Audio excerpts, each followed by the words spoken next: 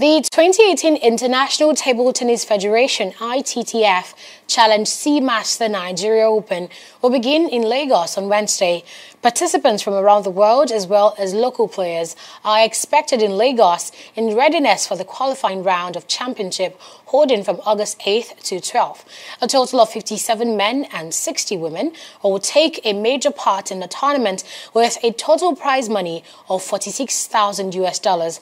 At a media briefing in Lagos on Tuesday, the president of the Nigeria Table Tennis Federation, Ishaku Tikon, told journalists what fans would expect at the tournament.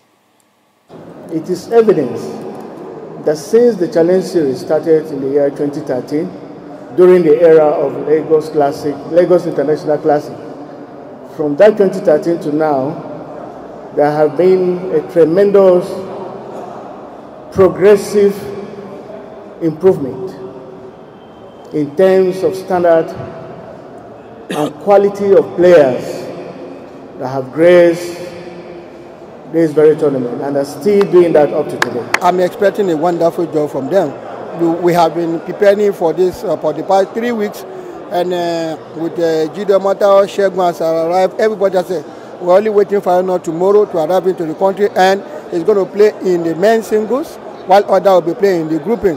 And believe you me, you can recall yourself for the past um, in the past two months that we won England. Nobody believed that we can win England.